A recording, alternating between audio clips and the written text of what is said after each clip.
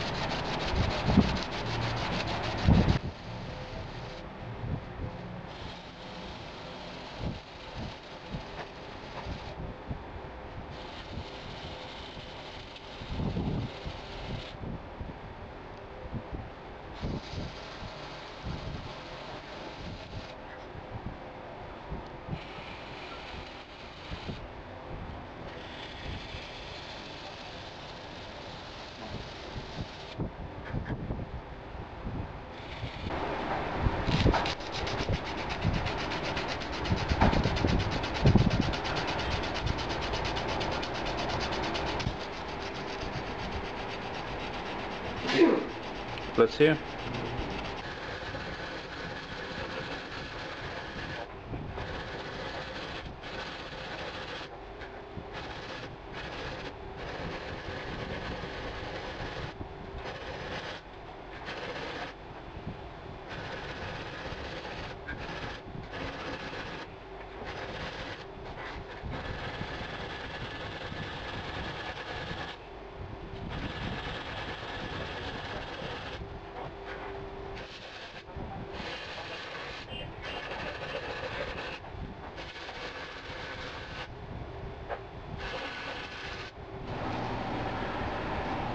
Okay, I've almost finished the edges on the handle.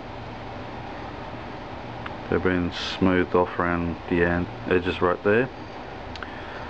Now a lot of times what you'll do is you'll add, add your um, handle scales and then smooth it with the wood or whatever handle material you're using. But in this case what I'm going to be doing is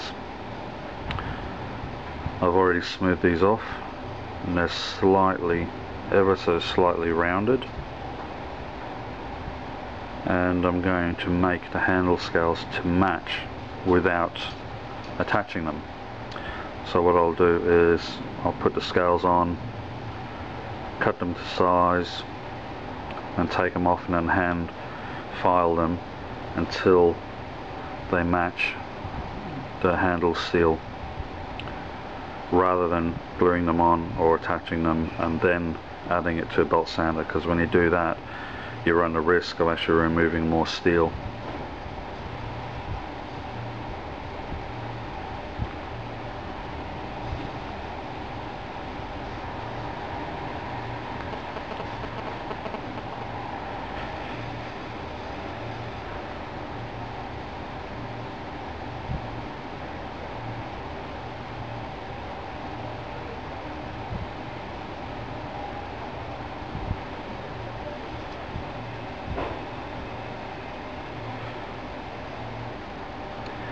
So still got a lot of work to do here. See the difference?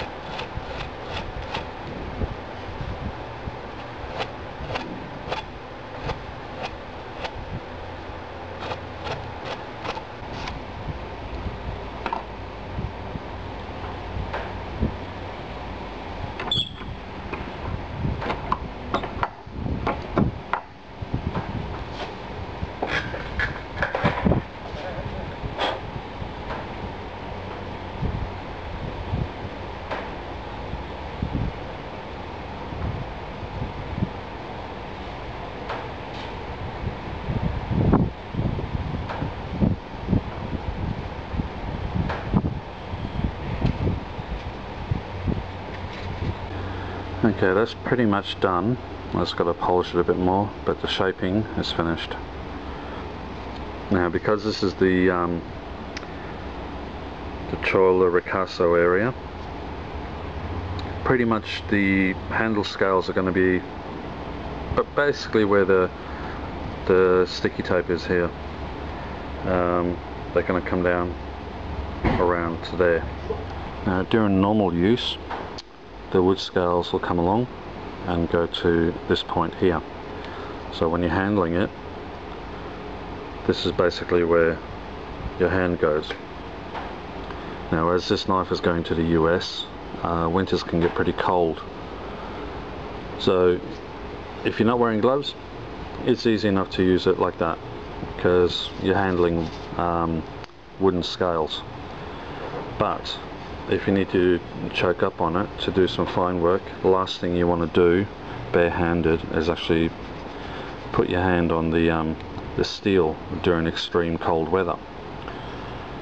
So if you're wearing a glove that's the reason that was made slightly larger so that with gloves it fits really well.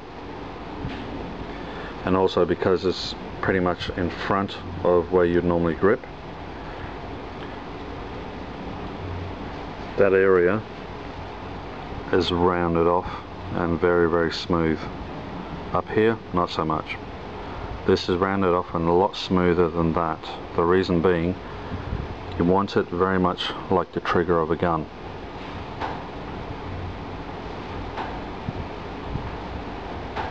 You don't want any sharp corners or sharp edges because when you're using it like this it's going to cut into your finger so by having that area rounded off, it's a lot more comfortable.